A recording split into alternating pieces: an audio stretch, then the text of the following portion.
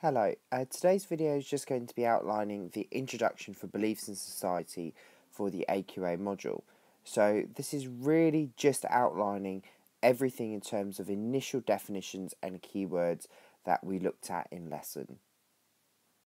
So in today's videos we aim to discuss and define different religion and belief systems um, and then to understand the different definitions for religion as well. Um, as we know that there are several definitions which we'll be looking at and looking at several types of religions as well. Now, just a simple definition of religion. So, religion is a belief in worship of the supernatural. So, a real big emphasis on that. And a more specific definition given by Robertson here is religion is a belief in worship of supernatural beings which have a governing effect on human behaviour. So, within the second part of the definition, there, the governing effect on human behaviour. So, clearly giving defi- uh, def- defined guidelines as to how individuals should be acting in terms of um, religious beliefs and how what they should be doing in society. Now, a belief system is any integrated set of ideas which influences the way that people see the world Belief systems can take several forms, but the most important types are religious, political, and scientific. Now, this is important that we realise that there are these three major belief systems that influence an individual's lives because often we just get focused down on one or the other. Now, religion can be difficult to define, but any definition is usually based on a belief in the existence of supernatural entities or other forces and religions may or may not claim the existence of a supreme god or several gods. Now, for us really here, this is a good point for us to really recognize and take note of. Because when it comes around to identifying the different types of religion, we're going to look at now the definitions of them and really try to get some contextualized information about these different religious sects and systems. Now, first and foremost, the first one that we're looking at here is monotheistic. Now, this is a belief in a single God. Now, a single God is then governing and giving out the instructions on how individuals should be living their lives. So, obviously, an example, as we can see, is with Christianity. Now, polytheistic is belief in several gods. So, the example of here we've got is Hinduism and other ancient religions such as Greek and Roman, and where obviously they had several gods which governed and then dictated how individuals should be behaving. We've got spiritual religion without belief in God. Um, example, here is it's more of a system which dictates and encourages humans to behave in specific ways, to be kind to one another and to nature around them. Now, example of this is Buddhism, where no god that exists, um, but rather set of values to adhere to, which obviously Buddha gives individuals that system. Then we've got cult with supernatural beliefs, but no concept of God. An um, example of this would be Heaven's Gate cult, which we'll be discussing later on in another video. We've got animism here, which is a belief in non-human beings slash gods, which obviously really encourages that connection between nature and humans as well. Now, one we've got here is indigenous nature worship by the Shinto religions. Then we've got totemism, which is human natural being connection, and it's Ojibwa natural American beliefs. All of which I have got resources on, which have been given to you guys in lesson. However, in terms of belief system, particularly when it looks at religious belief systems, we are missing one massive one, which is atheism. Now, atheism can still be considered a part of the type of religious beliefs um, to an extent because it is a belief system which then informs individuals how they should be acting and behaving. Um, obviously, they ignore the fact that God does exist or they disbelieve that there is a supernatural being.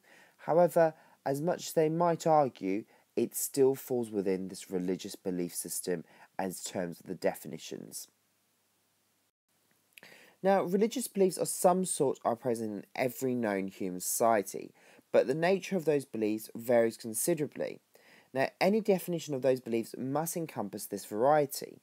So, really, early studies of religion saw it as a response to human needs both emotional and intellectual. The fact that from the earliest periods of man's existence, religion has played a major role in human life illustrates its universal importance.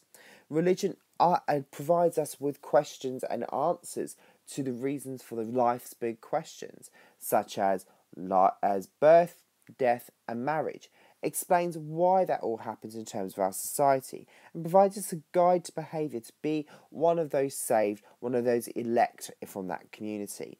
Now, sociologists tend to adopt either a functional or substantive approach to defining religion, and we're going to look at those in a bit more detail now. Now, the substantive uh, definition here um, these are concerned with the content of religion. So, for example, Jung in 1981 defined religion as a system of beliefs and practices by the means of which a group of people struggles with the ultimate problems of life.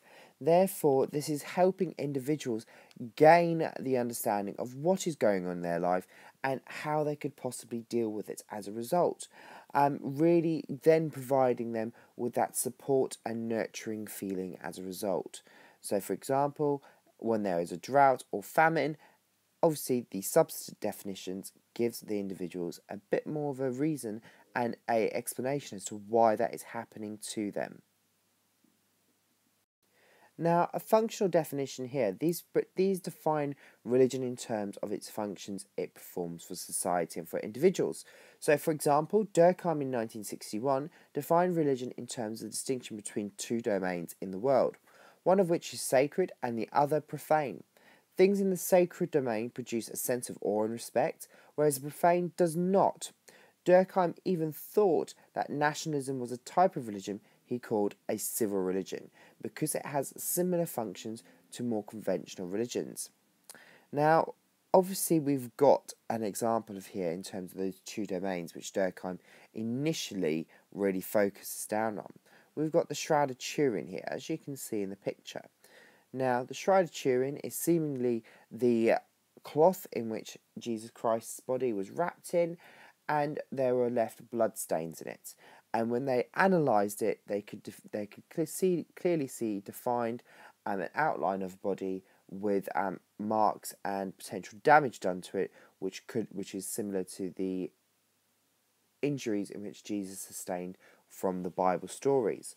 So, obviously, for this, it attracts individuals. It is a piece of history which is revered and really respected highly. So, as we could probably point out here, this is in fact a sacred object purely because individuals do respect it and it's not treated as an everyday object as a result. Now, here is just a little bit of extra information about the Shroud of Turin for you.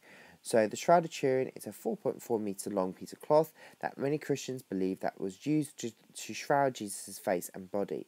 Um, and this will go back in display on Sunday in the Italian city's cathedral.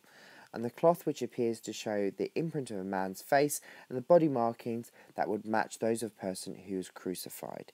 And as you can see in the picture, it's not very clear, but you can see the outline of a body.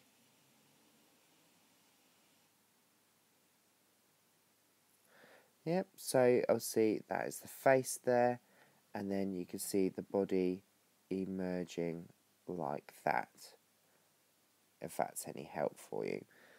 So, obviously, they believe that this was the cloth in which was used when wrapped on Jesus' body when he was crucified.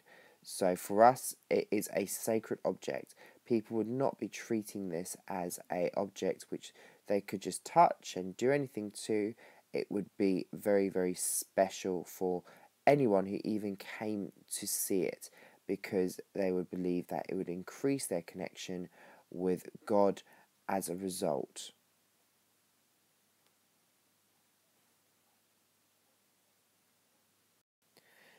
Now, the main main thing here that we've got to identify is here are some examples of um, functional religions.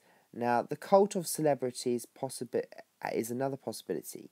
Every year, Elvis fans go on a pilgrimage to his home, Gracelands, and there have been many stories that he's still alive, and people, people, um, fans have claimed to have felt his presence and even claimed he has cured them of disease.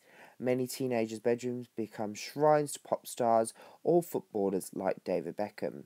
Um, some would argue that consumerism is the new religion in the West. We want heaven on earth, and now it is, it is to be given achieved by buying goods and services which are given, which give us our identity, and dictate how we feel and view society, and how we should behave in society as well. Because if uh, if we look at, for example, here very popularized at the minute, the Kylie Jenner challenge. So obviously the Kylie Jenner challenge it gave girls a set a set of ideas and guidelines on what they need to do to really be like her. So in itself here, the consumeristic ideals, um, individuals are buying into this and then obviously acting it out. And obviously they will do this in terms of other people as well. So obviously Michael Jackson um, visiting his um, properties um, and all that people might claim to feel his presence because he's such a big um, character and idol within their lives. Now, all the definitions emphasize certain aspects of religion and ignore others. So, functional definitions tend to be too inclusive, it's too easy to qualify as religion, while substantive ones tend to be too exclusive and it's difficult to qualify as religion. Now, this issue becomes more important when we consider whether religion has declined. So, when we talk about secularization, which is the separation of church and state, so the fact that the church will no longer have any true influence on what the state does, so separating the two from one another, which is actually, as we can see, has happened within societies such as France. Now, if we judge the substantive definitions, we are looking at decline in belief in God. However, that if we may define in functional terms, it may be that religion is becoming replaced by other things that perform similar functions, such as celebrities. Now, here are the criticisms of the two definitions. So, functional definitions tend to include many things. Some would not regard as religious, e.g., nationalism, which is the idea of the civil religion which Durkheim outlines. And perhaps science has replaced religion in answering some of the fundamental questions. So it's now because we've taken on that positivist view that we are now understanding and really appreciating that life can be based off of the scientific objective beliefs rather than these religious supernatural powers. Now, substance definitions are too narrow and many are based on Western monotheistic religions.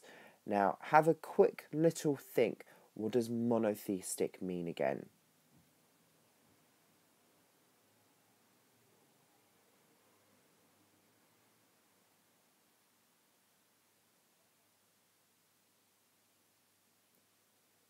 Remember, monotheistic is literally the belief in a single God. And we can see this with examples of religions such as Christianity, Islam, and Judaism. Now, obviously, within the Western world, we've now seen the ideal of nationalism really starting to take over in some portions of the society.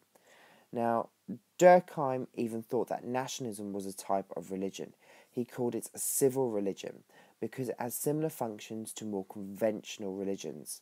Now, the idea of a civil religion has been particularly criticised for stretching the definition of the functional definition to include beliefs that have no supernatural elements to them.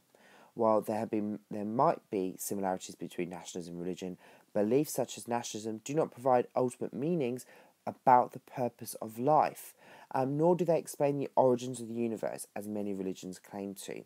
Now, nationalism is providing that consensus, those values in which people can use to live and operate by within their societies. The example that we looked at here was the, with the Reggie Yates documentary um, and the ideas that are promoted within Russian communities because we can see that the idea of nationalism there it's not used as a substitute for religion but it's used as a way of really binding the whole of this community together underneath this one Russian ideal of how so the how big and how wonderful their country is. Now, these nationalistic views are can sometimes be problematic, but they do give the individuals a set of beliefs which then gives them some stability in their lives. Now, within if we look at the Nash, the Russian views, the belief and the understanding of Putin does not take over the role of a supernatural being. Instead, he just gives the Russian people the idea of that he's strong enough to ensure that he will protect the country's values against the rest of the world. He never claims to be a supernatural figure like Jesus or God. He just gives the idea that he is a strong authoritarian figure. And the best bit that we've seen within this documentary is when he shows his strength over nature. So when he's picturized or taken pictures with animals, and they say that he commands that natural respect of the animals as a result. Now we can see that yes, to an extent, those nationalistic figures within Russia are forming a civil religion. Now, nationalism, this is a very important. Um, if you take a functional approach, then the functions could be replaced by other institutions. Now, Bellah, amongst others, argue that Americanism has become a sort of secular religion in the USA. People like George Washington, Lincoln, etc., have become saints in people's ideas um, because they have been able to unite the nation as a whole and under that one flag and underneath that one national anthem. All of these figures and all of these items are treated as sacred as a result.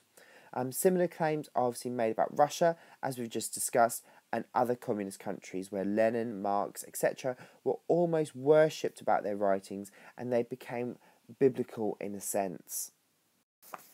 Now, religious belief systems remain dominant in some parts of the world, although in Western societies, alternative belief systems have become more influential since the 18th century, and these include the political belief system and the scientific belief system. Now, the political belief systems are based on views about how society should be organised and do not have a supernatural element to them. Nevertheless, political beliefs can be strongly held that, that they lead to violence, wars, and the persecution of social groups. Examples of political belief systems include the belief in the free market, capitalism, sometimes called neoliberalism. Now, Marxism, socialism, liberalism, so on. Now, communism was influential in the Soviet Union from 1917 to 1990. Communists believe that the means of production, e.g., land and factories, should be run by the state rather than owned by individuals to create greater equality. Then the next belief system that we encounter is fascism, which was influential in Nazi Germany from 1933 to 1945. Proponents believed that the interests of the state should be paramount and that this required the leadership of the authoritarian dictator who pursued the interests of the nation. Now, we're going to give a bit of a definition of neoliberalism here. Now, neoliberalism here is belief in free markets, and this is influential in contemporary USA. Neoliberals believe that the private enterprise is the best way to run society and that competition drives efficiency and ensures consumers' needs are met. Now, that is the outline of the political belief system. The next one that we're going to look at is the scientific belief system. Now, the scientific belief system um, have their basis in the belief that it is possible to understand the natural world and produce truthful knowledge about it. They can use they can be used to justify certain types of behaviour and to criticise others, e.g., behaviour relating to health.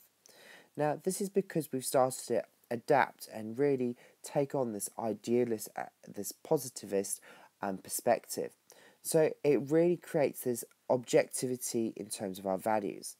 Now, Bierstedt in 1963 defines objectivity as meaning that the conclusions arrived as a result of inquiry or investigation are independent of the race, colour, creed, occupation, nationality, religion, moral preference, and political predisposition of the investigator.